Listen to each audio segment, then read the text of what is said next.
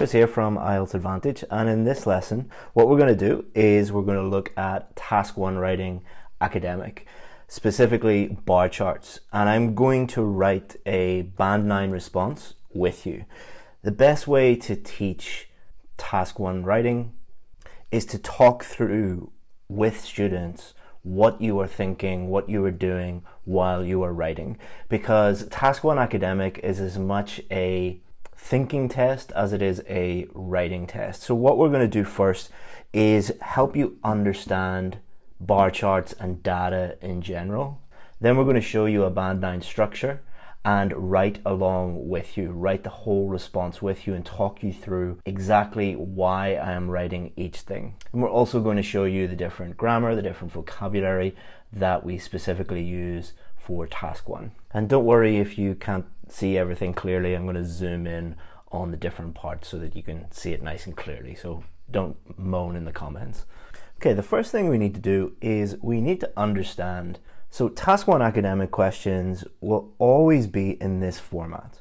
You will get a paragraph, normally just one sentence, giving you information about the data. Then it will say summarize the information by selecting and reporting the main features and make comparisons where relevant. It will always say this, and this is important. And then it will give you the data. Now, a lot of students are intimidated by bar charts and line graphs and pie charts and things like that. But the important thing to remember is a bar chart or a line graph or a pie chart is simply data, raw data that has been visualized to make it easier for you to understand. Bar charts are easier to understand than just a bunch of random numbers on a spreadsheet. So once you start thinking of it in that way, I think it just makes it easier for you to understand and to become less intimidating. So the first thing that we should do is read. So the bar chart shows the amount of foreign direct investment in India and China from 2014 to 2019. We don't need to know what foreign direct investment is. This is not asking for your opinion in any way. What it is asking you to do is understand the data and report the data accurately. You don't need to be an economist or a financial advisor to know what this is. Remember, they are testing your ability to understand and report data. Summarize the information by selecting and reporting the main features. So the keyword here is summarize. It does not say write everything that you see. You will only be writing between, let's say, 150 and 200 words, which is not very much at all. So you're not going to be writing about every tiny little thing because it's asking you to select the most important things and then report them, the main features. Another word for main features or words for main features is important things. And make comparisons where relevant. And we'll come on to comparisons in a second. So the next thing we need to think about, and it's this is important not only for understanding the data, but for what you are going to write about, is what is the person who made this chart? So this is a real chart. It comes from the Financial Times the person at the Financial Times who put this together, what are they trying to show you? What is the point of this data? Well, there are two points.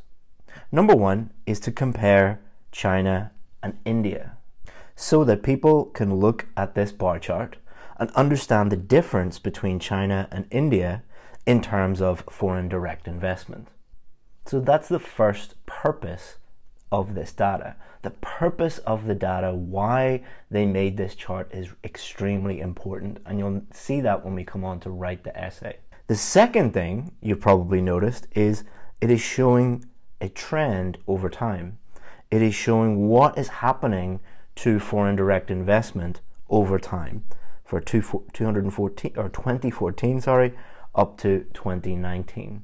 So these are the two main things that we are going to report because these are the main features of the data.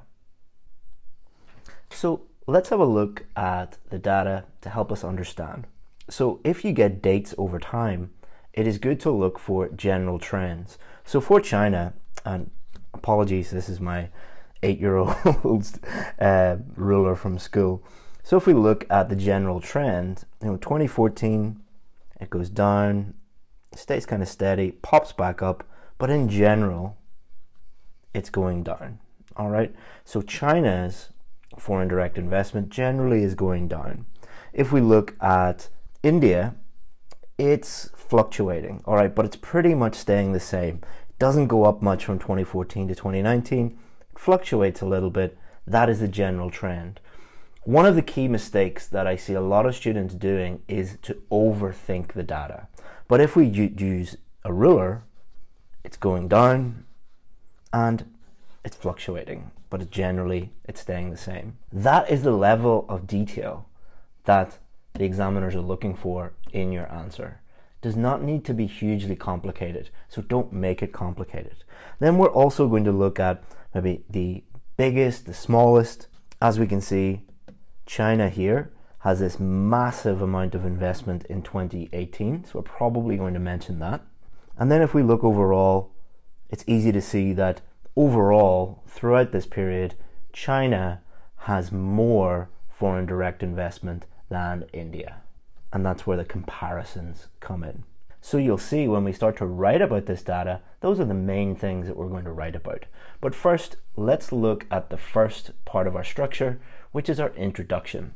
The way that I find makes it much easier for students is to break everything up into bite-sized pieces if you were to get a steak in a restaurant, you wouldn't try and eat the whole steak. Or if you were to order a pizza, you wouldn't try and shove the whole pizza into your mouth. You would cut it up into bite sized pieces. So follow me now, follow the steps that I use, and then you will be able to replicate this yourself during your preparation and on test day. So the first thing we need to do with our introduction is simply look at this first paragraph which is normally one sentence, and paraphrase it. That's going to be our introduction. That's going to be our first paragraph. Okay, so how have I paraphrased this? Well, I've used a number of synonyms, words that mean the same thing but are different words. So, the bar chart, the chart. A bar chart is a bar chart. There's no other real way of saying this, so it is fine just to copy and leave out the word bar, the chart shows, illustrates, displays. These are all synonyms that you could use. The amount of, the level of. Don't worry about repeating words like the or of. There's no other way of using a definite article than to repeat it. So, foreign direct investment. Foreign investment is just money from outside of the country being invested into that country in one way or another. So instead of foreign investment, we have outside investment. So I've changed the collocations of foreign direct investment to outside investment. So it's best just to think of foreign direct investment and outside investment as two chunks of language. We have repeated the word investment, but we have changed the collocation. Now, there's no other way of saying India. India is India. China is China. We could say two countries in Asia or something like that, but that's not very precise. Asia is a massive continent. So instead of just saying in India and China, we said in the economies of. And from to, between, and from 2014 to 2019, between 2014 and 2019. There will often be dates involved when it comes to these. So now that we have completed our first sentence, we can move on to the next paragraph. Your first paragraph will always normally be one sentence. Paraphrasing this, and then we move on to the overview. Now, you'll see a lot of discussion online saying that it's important that your overview is the second paragraph or the fourth paragraph. To be honest, it doesn't matter. What matters is the quality of your overview. It is impossible to get a 7 or above without a good overview. The position of it doesn't really matter, quality of it does. And we always start our overview with overall, comma.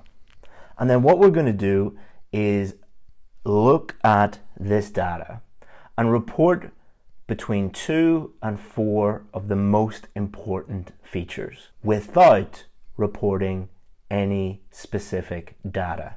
We're not going to talk about 80 billion or 100 billion. We normally won't talk about dates. This is just the two or three most obvious things about this data.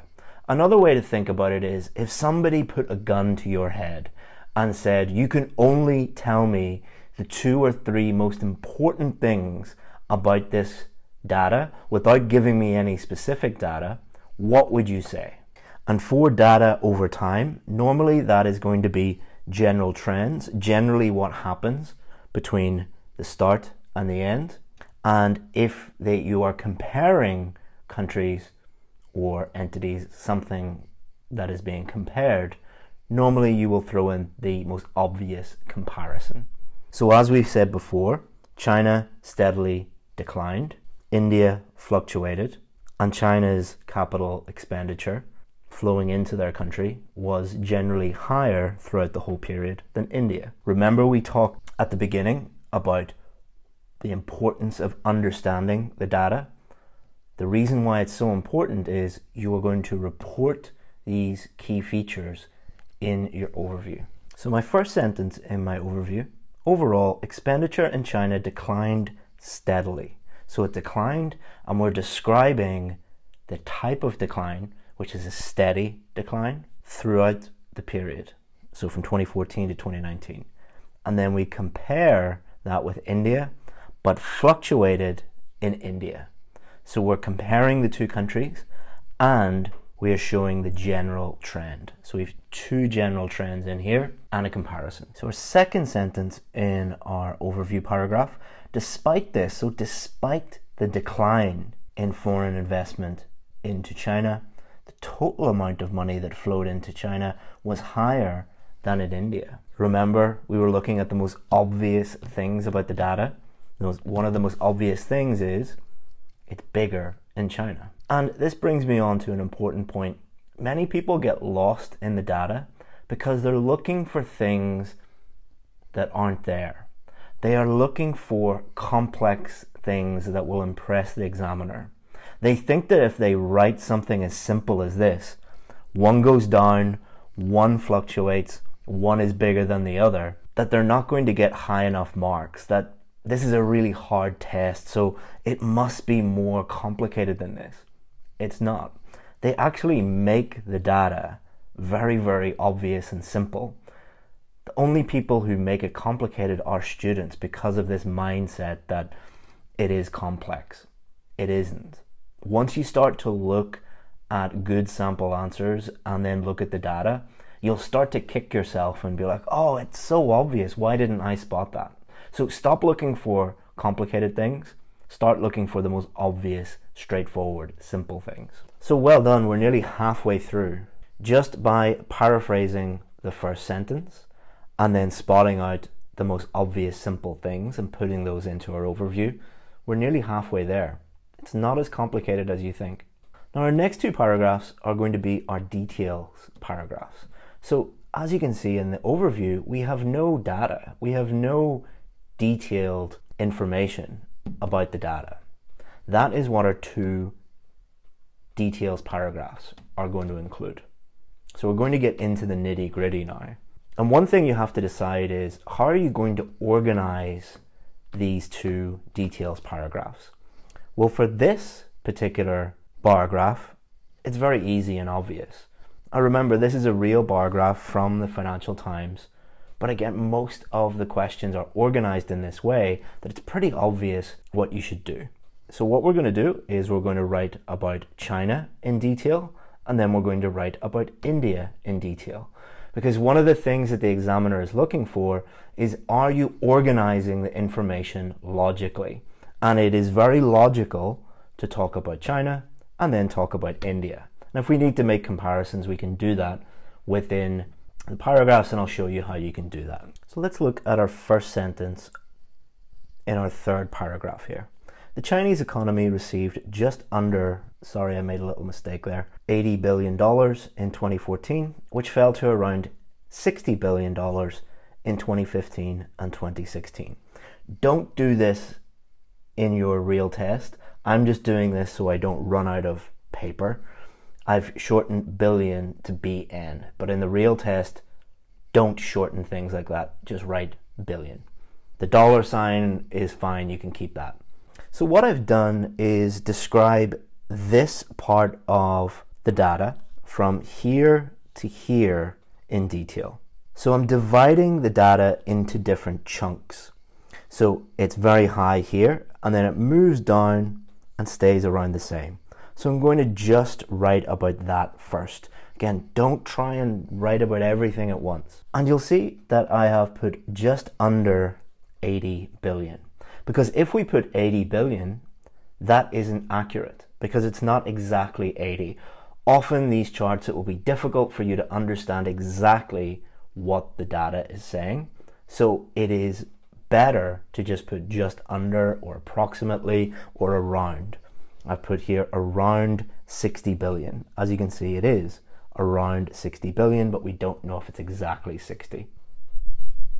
Okay, so the next logical thing to do is to describe this dip down here and then this massive jump here and then it dips down back again. So after a slight decrease in 2017, so it decreases slightly, there was a massive resurgence to a high point of more than 100 billion in 2018 before receding, so going back down to just over 40 billion in 2019. So you'll notice I haven't put the data in for 2017. I've just said after a slight decrease. Remember, you're summarizing and selecting information. You are not reporting every single data point that you see. But this one is very important. This is the high point, so I am describing it and I'm really highlighting it by saying it's a high point, it's 100 billion, massive resurgence, and then it drops back down to around 40 billion in 2019. And that's it done for the Chinese. Now we move on to India. So in 2014, foreign outlays into India's economy reached more than 20 billion. So it was more than 20 billion. Then rose significantly to approximately 60 billion. So this one's a little bit over, this one's a little bit under. So we're going to use the word approximately to describe both of them before falling back down to 2014 levels in 2017. So 2014, 2017 are pretty much looking the same. So we're going to say falling back. So in 2018, there was another massive increase. We put dramatic increase here because it pretty much doubles before returning to around 20 billion in 2019. So that's us done with India. Now, finally, in the same paragraph, what I'm going to do is just compare more specific data between China and India. So I'm going to do this. So I've 2015 was the only year India's levels of foreign investment exceeded China's, with values of slightly over 60 billion and slightly below 60 billion, respectively. So this is a key word that you want to understand and probably use in your task one academic responses, respectively. So remember, one of the key features was the total amount for China was higher than India. And this just goes into a little bit more detail on that and says, you know, in only in one year were India slightly ahead of China. The rest of it, China exceeded. And that's us done. And as you can see, by breaking it down into this structure, it makes it much easier to understand and to do on test day. Let me just highlight some important vocabulary that you need to be aware of. So you need to be able to describe data and general trends over time, declined, and how would you describe that decline? Fluctuated, receding, a resurgence, it reached more than or reached less than, it rose significantly or increased dramatically or dropped, falling back, dramatic increase, values of slightly over. So remember the task is just to simply describe data. So you need to be aware of how to do that. And then also remember that a huge part of this is describing data accurately.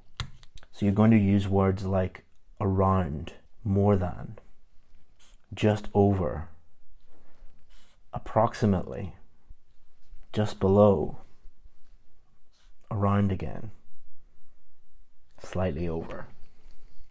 So if you can simplify your understanding of the data, follow this structure, report the data accurately, and use the correct grammar and vocabulary, then you have a very, very good chance of dramatically improving your score. But there is another very common vocabulary mistake that lots of students make. So one of our teachers, Michelle, has put together a video for you how to avoid this common mistake in IELTS writing task one. So go and watch that one now.